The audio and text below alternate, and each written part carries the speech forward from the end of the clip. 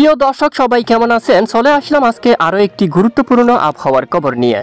ঘূর্ণাবর্তের ফলে আগামী চব্বিশ ঘণ্টার মধ্যে দেশের দক্ষিণের বেশ কিছু এলাকায় মাঝারি থেকে ভারী বৃষ্টিপাতের সতর্কতা জারি করা হচ্ছে। এই মুহূর্তে দেশের বেশিরভাগ এলাকায় আকাশ প্রায় আংশিক মেঘলা নিয়ে পরিষ্কার রয়েছে, বৃষ্টির তেমন দেখা নেই। তবে ঢাকা এবং বরিশাল বিভাগের কিছু কিছু এলাকায় বিক্ষিপ্ত বজ্রসহ ভারী বৃষ্টিপাত দেখা যাচ্ছে। চট্টগ্রাম বিভাগের বেশিরভাগ এলাকায় আকাশ প্রায় মেঘাচ্ছন্ন অবস্থা রয়েছে, বৃষ্টির তেমন দেখা নেই। তবে দক্ষিণের উপকূলীয় কিছু কিছু এলাকায় সকাল নাগাদ বৃষ্টিপাত দেখা গিয়েছিল। এই মুহূর্তে দেশের বেশ কিছু এলাকায় আকাশ আংশিক মেঘলা নিয়ে পরিষ্কার রয়েছে। বৃষ্টির মাত্রা খুবই কম। পশ্চিমবঙ্গের বেশিরভাগ এলাকায় আকাশ প্রায় পরিষ্কার রয়েছে। বৃষ্টির তেমন সম্ভাবনা নেই। আগামী চব্বিশ থেকে আটচল্লিশ ঘণ্টার মধ্যে দেশের দক্ষিণের অনেক অঞ্চলে হালকা থেকে মাঝারি কিছু কিছু এলাকায় ভারী বৃষ্টিপাতের সতর্কতা জারি করা হচ্ছে। ইতিমধ্যে সরাসরি আমরা বৃষ্টিবাহী মোড়ে চলে আসলাম। দেখতে পাচ্ছি আগামীকাল শুক্রবার, তেরোই অক্টোবর, দেশের দক্ষিণে টেকনাফের দিকে ওকিয়া এবং চ্যানমার্টিং এবং এদিকে মায়ানমার সংলগ্ন উপকূলীয় এই যে বেশিরভাগ অঞ্চলে মাঝারি থেকে ভারী বৃষ্টিপাতের সম্ভাবনা রয়েছে।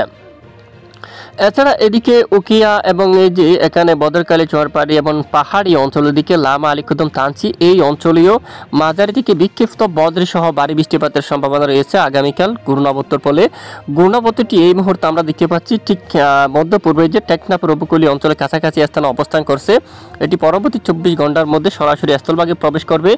এই ঘূর্ণাবর্তর ফলে দক্ষিণের অনেক এলাকায় মাঝারি থেকে ভারী বৃষ্টিপাতের সম্ভাবনা তবে চট্টগ্রাম বিভাগের সমস্ত এলাকায় বৃষ্টিপাত থাকবে না। চট্টগ্রাম বিভাগের দক্ষিণে কক্সবাজারের দিকে বৃষ্টিপাত থাকবে এবং চট্টগ্রাম বিভাগের উত্তরাঞ্চলে বৃষ্টিপাতের সম্ভাবনা অনেকটাই কম।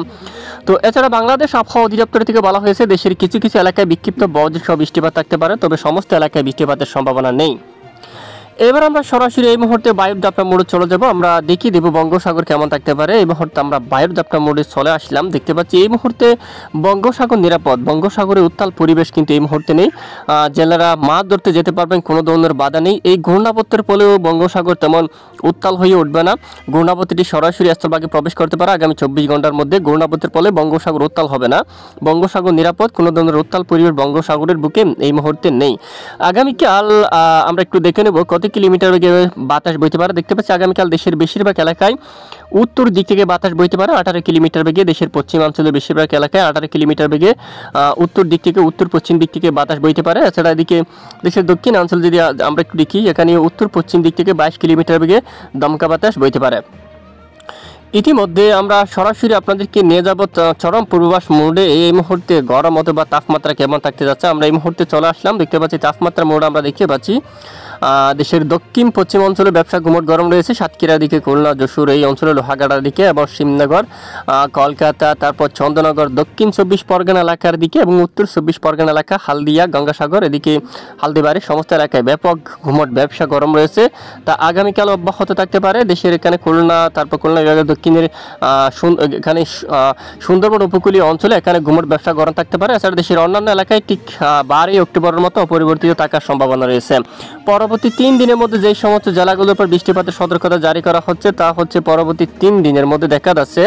ঠিক মায়ানমার উপকূলীয় অঞ্চলের দিকে বৃষ্টিপাত থাকতে পারে। এছাড়া কক্সবাজার, সেন্ট মার্টিন, তারপরে যে এখানে এই যে টেকনাফ, তারপর এদিকে রয়েছে। তানচি, আলিকদম এই অঞ্চলে এই অঞ্চলে হালকা মাঝারি বৃষ্টিপাত থাকতে পারে। চট্টগ্রাম বিভাগের পরিচুটি অবজারা খাগড়াচুরি এই সমস্ত এলাকায় আকাশ কিছুটা মেঘাচ্ছন্ন থাকতে পারে এবং খুলনা, বরিশাল, ঢাকা বিভাগের কিছু কিছু এলাকায়, সিলেট, ময়মনসিংহ বিভাগের দুয়াক এলাকায় বিক্ষিপ্ত বদ্রি সহ বৃষ্টিপাত থাকতে পারে। রংপুর বিভাগের উত্তরে কিছু কিছু এলাকায় বিক্ষিপ্ত বদ্রি সহ বৃষ্টিপাত থাকার সম্ভাবনা রয়েছে। এ হচ্ছে মূলত পরবর্তী তিন দিনের আবহাওয়ার পরিস্থিতি। পরবর্তী তিন দিনের মধ্যে বঙ্গোসাগর উত্তাল হওয়ার তেমন সম্ভাবনা নেই। যদি পরিবর্তন ঘটে, আমরা অবশ্যই আপনাদেরকে জানাব। আমাদের সঙ্গে থাকবেন। এ হচ্ছে আজকের আবহাওয়ার রিপোর্ট প্রতিদিন নিয়মিত আবহাওয়ার চটিক খবর সবার আগে পেতে আমাদের সঙ্গে থাকবেন। আর এতক্ষণ আমাদের সাথে থাকার জন্য ধন্যবাদ।